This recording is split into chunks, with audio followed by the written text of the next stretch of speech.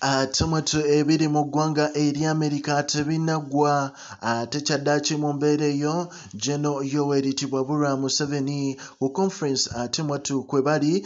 Kyaddaaki bajongeddeko security bongedde okuba nga ate bamukuuma. Kigambibwa okuba nti bannayuganda baganye okuzikiza era nga basazeewo beetooloole ekifo kino. Ate mwettu babeeko engeri gye bamukwasaganyamu ku progen media tugamba gwe yonna gy'osinziira okuba nga ku mukutu kwoli etwewayo okuba nga tukuwa updates zonna ezigenda maaso mu ggwanga erya uganda. Era nga bulijjo ate mwattu nagamba ekintu kimu vidiyo osooka nga noginga ate mwattu ne tweyongerayo nentumira ku baana abali e jordan abaana abali e kata abaana abali mu oman ne mbagamba kyemukola kyamaanyi nnyo. Essaawa zino amawulire genkuleetedde ate ge mawulire ag'okuba nti ate era bannayuganda beeyongedde okulemera ku geno yoweritibwa bulwa museveni bano abaana bakwezingako mpaka. Ee ate era security kigambibwa okuba nti abagimwongedde naddala abasajja abamukuuma oluvannyuma lw'okulaba nti omukulu ono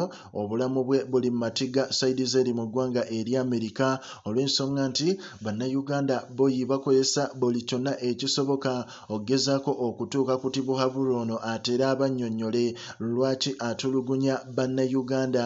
Era lwaki atyoboola eddembe ly'obuntu mu ggwanga erya uganda? Bannayuganda ate mwattu balagira ddala obusungu bannayuganda bakambwe nga bw'okiwulira teri n'omu ayagala kuwulira kintu kyonna. Okugyako okuba nga buli omu mesagi gy'abaawa bagamba omukulu tibwabulwa ayina okuba nga ate abuuzibwa kajojijoji w'ebibuuzo. Amerika erina okuba nga ate mwattu yamukutte dda okusinga okuddaawo okumukuumakuuma olw'ebyo ebikolobero byazze akoze.